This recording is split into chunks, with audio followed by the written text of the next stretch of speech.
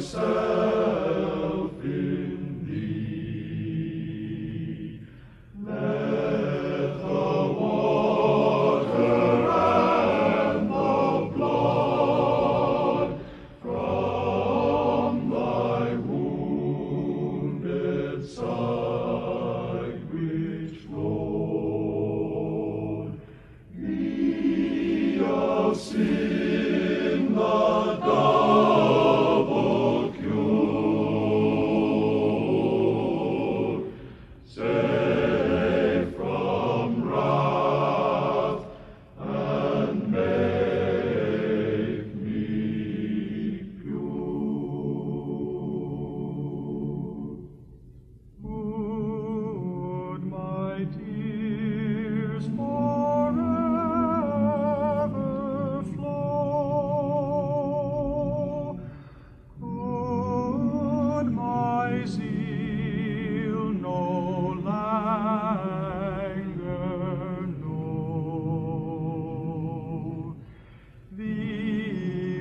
mercy.